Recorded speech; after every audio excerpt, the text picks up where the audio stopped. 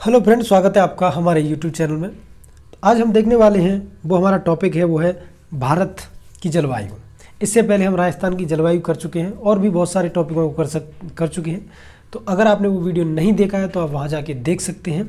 आज हम करने वाले हैं भारत की जलवायु। उससे पहले मैं आपको बता दूँ, अगर आप REET first grade second grade कोई भी एग्ज़ाम की तैयारी कर रहे हैं, जिसमें राजस्थान जी की आती है, और राजस्थान की बुकों से अगर क्वेश्चन आते हैं तो कक्षा छः से बारह तक की जितनी भी एस की बुक है उनसे ये नोट्स बनाए गए हैं। तो आप अगर इन नोट्सों को लेना चाहते हैं तो हमें कमेंट कर सकते हैं या फिर हमारे टेलीग्राम पर रा, रा, राज राजपूत सर पे हमें संपर्क कर सकते हैं। और अगर आपने हमारा चैनल सब्सक्राइब नहीं किया है तो सब्सक्राइब ज़रूर कर लें जिससे कि इस प्रकार की वीडियो आपको मिलती रहे। तो अब स्टार्ट करते हैं देखिएगा भारत की जलवायु। तो भारत की जलवायु उष्ण कटबंधीय मानसून जलवायु है। तो सबसे पहले आपसे यही क्वेश्चन पूछा जा सकता है कि जो भारत की जलवायु है वो कौन सी है? तो याद रखिएगा, उष्ण कटबंधीय। भारत की औसत वर्षा है वो 110 सेमी है। इस चीज़ को भी आप विशेष रूप से याद रखें। मानसून शब्द अरबी भाषा के मौसम शब्द से बना है और ये आरपीएससी में पूछा गया क्वेश्चन है, मौसम शब्द से।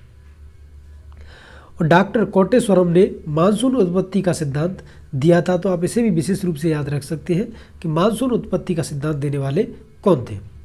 अब देखिएगा, जलवायु को प्रभावित करने वाले कारक। ये कारक पूछे जाते हैं और बहुत ही ज़्यादा पूछने वाले कारक हैं। तो देखिएगा, समुद्र तल से ऊंचाई। समुद्र तल से ऊंचाई होती है, वो भी जलवायु को प्रभावित करती है।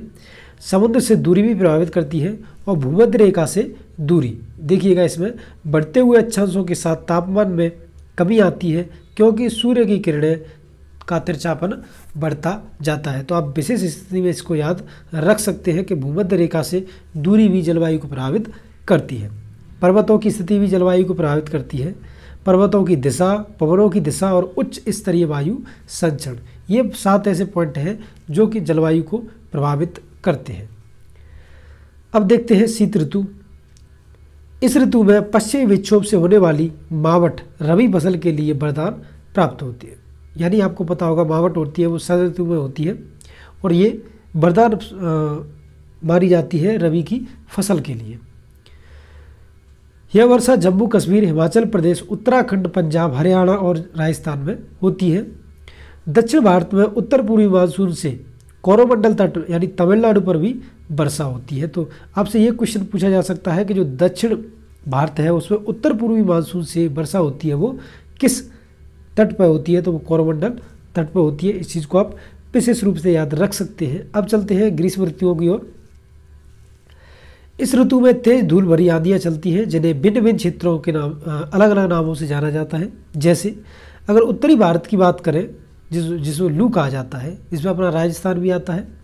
अगर पश्चिमी बंगाल की बात करें, इसको काल वैसागी कहा जाता है, जो कि आठ टेट दो में पूछा गया क्वेश्चन था। तो इस चीज़ को आप याद रखिए कि रीट में और सेकेंड ग्रेड फ़र्स्ट गेट में एसएसटी की जो कच्चा छः से बारह तक की किताबें हैं, ज़्यादातर क्वेश्चन उनसे पूछे जाते हैं। हाँ थोड़ा मैटर कम है तो उसके लिए आप किसी टीचर या किसी गाइड का सहारा ले सकते हैं। लेकिन अगर ज़्यादातर क्वेश्चन की बात करें तो इसमें से पूछने की संभावना है, वो रहती है। देखिएगा, पूर्वी भारत में जो ये वर्षा होती है, उसको कहते हैं नॉर्वेस्टर। और कर्नाटक में इसको चेरी ब्लास्ट या फिर कॉफ़ी वर्षा के नाम से भी जाना जाता है। और केरल के मारावा तट पर इसमें आम्र वर्षा कहते हैं। कहवा उत्पादक क्षेत्रों में फूलों की बौछार भी कहा जाता है इस वर्षा को।